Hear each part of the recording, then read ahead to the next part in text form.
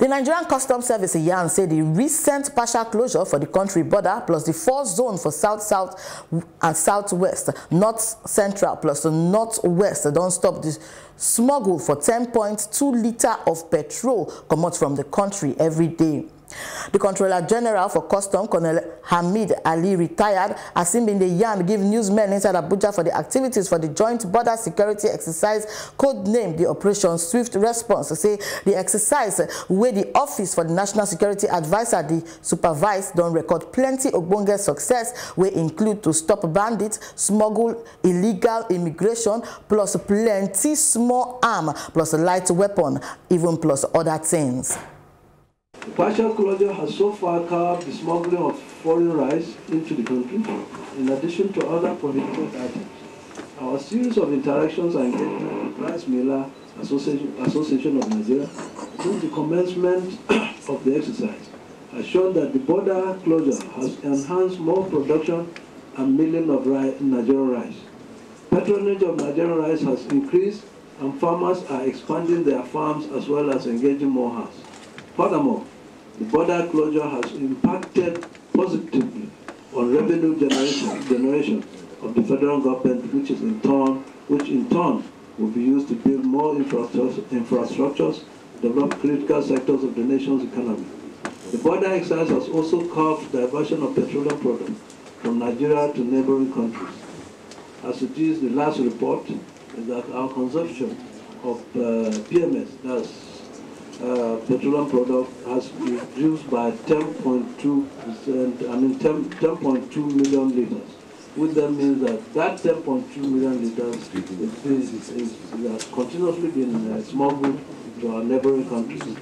Also, the last report I received is that uh, the market who sell gari, amala, and other food items are now smiling to their banks because the the influx of the foreign rice has either continuously adversely affect their own market because cheap, the rice has become so cheap, it's available for everybody, and it has become a staple food on everybody's table.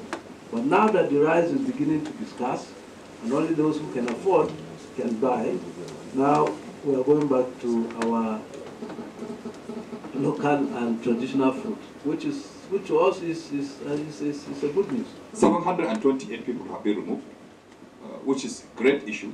But among the people who we have arrested, we have arrested people who are not even members of the ECOWAS at the border. We have arrested Pakistanis. We have arrested North Koreans at the borders, and those people are supposed to be deported. We have deported around uh, seven of them 20 of them will be deported. Uh, we are getting for connection to make sure they reach North Korea. So it means they had taken advantage of the weak borders we have to enter Nigeria, even though they are not expected to enter. So we have arrested these people and we are deporting them. Uh, they have been banned for life, then they cannot come back to Nigeria for trying to enter Nigeria through an unorganized port of entry. So my emphasis on this matter is that as long as we have illicit good, we equally have illicit people you are aware mm. that the threat to national security is not only goods, are also people who are terrorists, who are bandits, who are kidnappers. And we are not saying we are the only kidnappers, but we are, or they are kidnappers, but we are stopping movement across the borders. You will agree with me that with the closure of the border, there has been reduction. In a lot of banditry, kidnapping, it's very clear there has been reduction. So as far as we are concerned, the security of this country is also related to the movement of persons. We should continue, as I said, for immigration, we shall continue patrolling the borders and ensure people enter through the recognized port and depart through the recognized port. As we strive to address critically the economic and security concerns of smuggling and irregular migration, by extension, it has also reduced the scale of other transnational organized crimes like proliferation of small arms and light weapons, terrorist activities, as well as anti-banditry operations that have been going on.